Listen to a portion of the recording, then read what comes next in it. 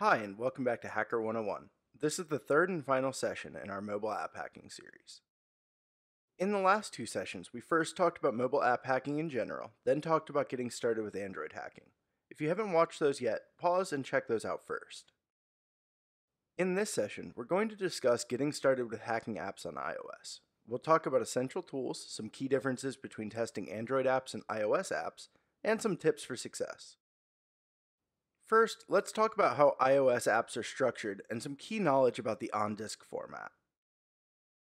Applications are typically distributed as IPA packages. Conveniently, these are just zip files with a different extension, so you can simply change the extension and unzip it like normal. Inside this, you'll find a bunch of metadata, signatures, and, most importantly, the payload slash appname.app directory. That's where most of the interesting bits will be, like the application binary. One important thing to keep in mind is that binaries and IPAs from the App Store will, by default, be encrypted. Without decrypting this, it's not possible to disassemble, decompile, or otherwise mess with the binary. We'll talk about how you can decrypt these apps a little bit later in the session. Finally, the info.plist file in the root of the IPA contains a huge number of properties about the application. From the application name and version to the URL schemes it registers, this data is essential for running the application as intended. Most of this has no bearing on security or testing, but there are a few notable exceptions, which are covered later in the session. Now let's talk about the differences in testing iOS apps versus Android apps. While there are many similarities between the operating systems from a user perspective, and even a developer perspective, really, there are massive differences from the perspective of a security researcher. The one that tends to drive me nuts is that in the Android world, you have an emulator capable of running practically any app. If it's pure Dalvik, like most apps are, then you could just run it via the nice x86 emulator and everything just works. If it's got native ARM code, you switch to the ARM emulator and things are fine, just slow. In the iOS world, the only thing you have is the simulator, which runs only x86 apps, which is to say, nothing from the App Store. If you have source code, then you can build the app and run it in the simulator, but that's not going to be the case for most things you care about. This means that in the vast majority of real world cases, you're going to need to test on a real device. We'll talk later about how to actually best do that. And the one that poses the biggest challenge reverse engineering wise iOS apps, with a few notable exceptions, are compiled straight to native machine code. In the Android world, you can decompile most apps pretty painlessly. They may have bits of native code that you can't so easily decompile, but usually those are small portions and you can either just disassemble and read or ignore entirely. That's not doable in the iOS world. Unless you're dealing with an app built with one of the JS for native apps frameworks like React Native, Titanium, or PhoneGap, you're pretty much stuck with disassembling the app and decompiling specific methods with a lot of manual work. This does pose fun and interesting challenges, and I personally like that. It definitely raises the barrier to entry pretty considerably, though. Next, let's discuss some tools I feel are essential for success in iOS testing. Some of these have overlapping uses, but they all have their place. First up is Xcode. This is Apple's main development environment, which you can use to develop, build, and debug iOS apps. The simulator we talked about earlier is a part of the Xcode package. The ability to quickly build and run test apps is pretty key to testing on iOS, as it may lead to ways that you can test a bug in isolation. Next is BF Inject. This tool lets you inject a shared library, a dylib file, into running apps on iOS. Using this, you're able to do pretty much anything in the context of an app, including decrypting it. We'll talk about exactly how to use this to decrypt an IPA a bit later, but needless to say, this is absolutely essential for testing iOS apps these days. Cycript is a sort of similar concept, but with very different design.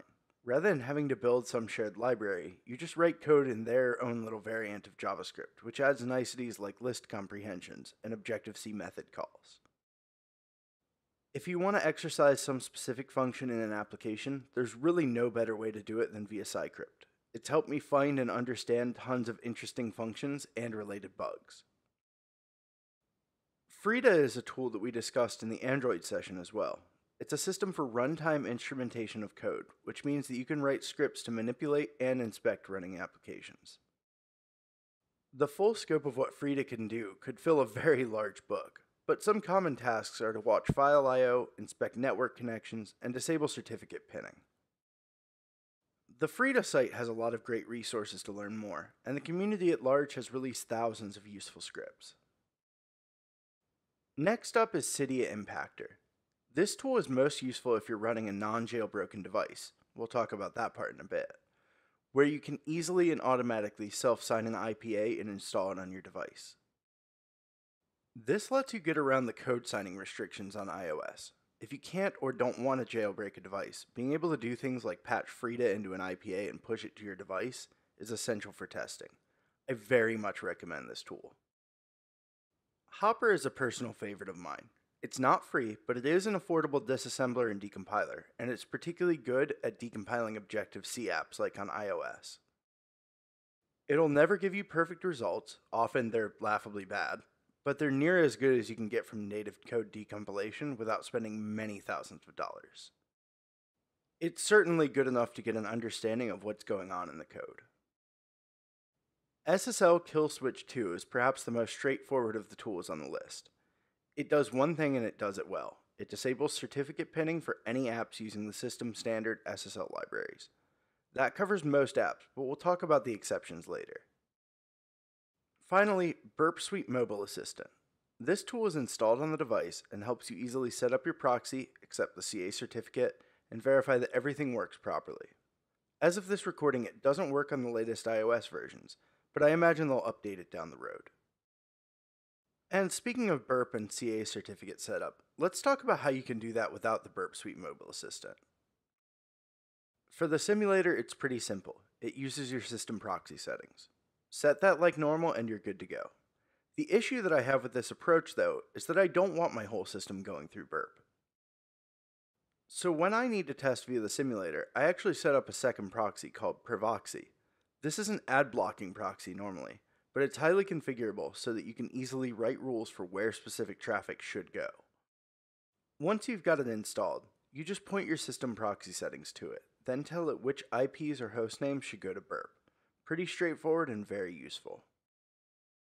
For physical devices, proxy settings are under the Wi Fi settings. Simply click the eye next to the network to which you're connected, then click Manual under HTTP Proxy Settings, then plug in the info for your proxy. Do make sure that Burp is listening either on all interfaces or on the local network interface. If it's on localhost only, your device won't be able to talk to it.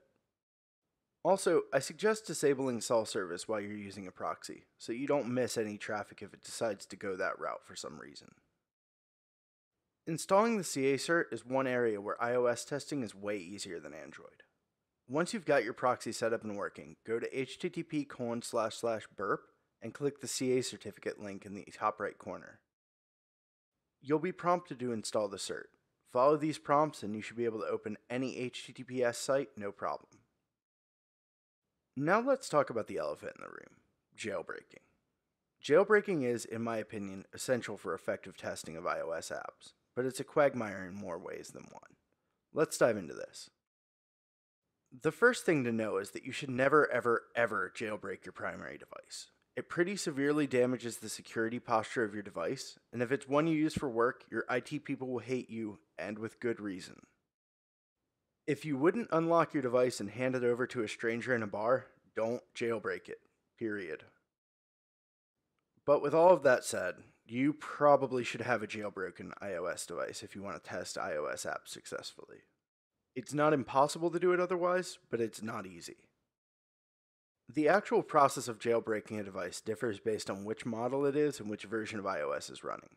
Unfortunately, the latest devices and iOS versions often aren't jailbreakable for a while after release, which makes it hard to just jump into this stuff. I personally went to eBay and bought an iPod Touch, which I have a jailbreakable iOS version running on. It'll stay on this version until the device dies, because the risk of not being able to jailbreak future versions is just too high.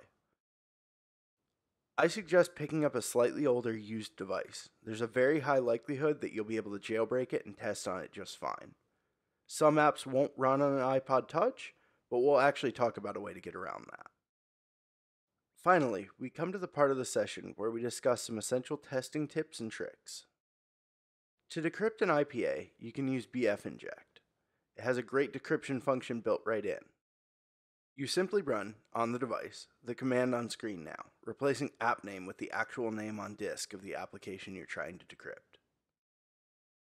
Once you do that, it'll go ahead and start the decryption, then set up a little server where it'll serve the decrypted IPA and tell you the command to run on your computer in order to download it. Cert pinning isn't something you'll run into for most apps, though they really should have it, but it is something that will cause headaches when present. If your proxy is set up properly but you're not able to get an app working after setting it up, it's likely that cert pinning is the root cause. Burp Suite Mobile Assistant or SSL Kill Switch 2 will handle the vast majority of cases. Simply follow their setup instructions and things should just work. However, if they fail, then there's really not a simple prescribed path to take to fix it. My suggestion is to use Frida to hook calls to OpenSSL and see if they're using that. Then you can intercept the calls and disable cert pinning manually that way. If they're not using OpenSSL though, then you're likely going to have to crack it open in a disassembler and figure out how to patch the cert pinning out by hand or via some well-placed Frida interceptions. Some apps will only install on iPads, but this is something you can actually get around. This is something I've had to do multiple times since my primary device is an iPod Touch. If you open up the IPA and edit the info.plist file, you'll find a key called UI device family. Changing the value to 1 will allow it to install on any device. Simply repackage it and send it over with Cydia Impactor, and it should install and run just fine. It's very possible the UI will behave oddly or be very hard to see, but it should more or less work. In the Android world, the majority of the code running is in inherently safe languages. Objective-C is mostly safe. Their string classes prevent you from shooting yourself in the foot, for instance, but its C legacy leaves open the potential for memory corruption bugs. These are cases where input causes memory to be corrupted in a controllable way, leading to anything from information disclosure to remote code execution. Most memory corruption can be leveraged to nefarious ends, generally leading to critical bugs. We're not going to go too far down the rabbit hole here. Hacker 101 videos in the second quarter of 2019 will talk about this in more detail. But I suggest looking in your disassembler or decompiler for any instances of calls like memcopy, strcpy, and sprintf as a first pass. If you can find a way to get your input to run off the end of a buffer, you've almost certainly got something you can have fun with. There are plenty of other ways memory corruption happens and can be exploited, but we can't go too much into that in this video. The final thing we'll talk about is the custom URL scheme functionality in iOS. Applications can register to be launched by a specific URL scheme via the browser or other apps. While these are often innocuous, they can lead to some really nasty bugs. Most of them will either be triggering an XSS payload in a web view or a memory corruption bug deeper in the app. The fact that you can pass an URL means you have a lot of space in which to write your exploit. That's not something you get too often in mobile apps. Now, with all that being said, congratulations on taking your first steps to becoming an iOS app hacker. There's a lot more to learn, but this will provide you with a good starting point. If you haven't done so already, please consider giving the video a like and subscribing to our channel for more great content. As always, thanks for watching and happy breaking.